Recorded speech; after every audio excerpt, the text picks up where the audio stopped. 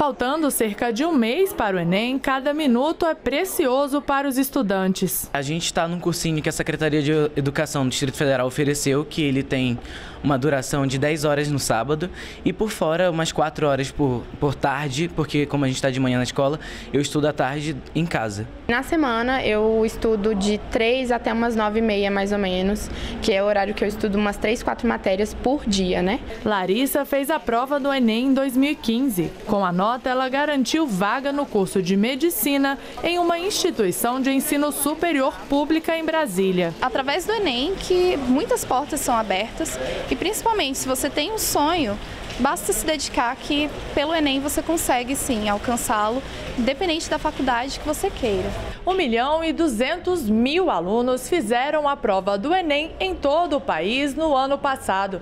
São considerados os estudantes que realizaram as quatro provas objetivas e a redação e tiveram nota maior que zero. O desempenho dos alunos na redação foi melhor do que em 2014. O mesmo foi verificado no caso das ciências humanas. Nas outras áreas de conhecimento, as médias caíram de um ano para o outro. O nível socioeconômico contribuiu para o desempenho dos alunos. Quanto maior o nível, maior a média. E o tamanho da escola fez diferença. As maiores médias foram registradas nas menores escolas. A formação dos professores também influenciou as notas. Aqueles que têm formação superior na mesma matéria que dão aula formaram alunos que alcançaram médias maiores. O resultado do desempenho sozinho, ele não é, possibilita uma classificação das escolas.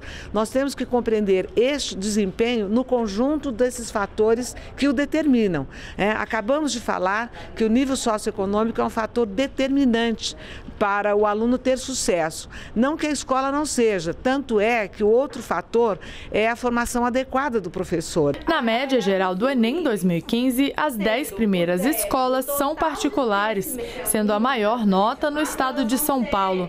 Já entre as públicas, a maior média foi em uma escola técnica em Minas Gerais.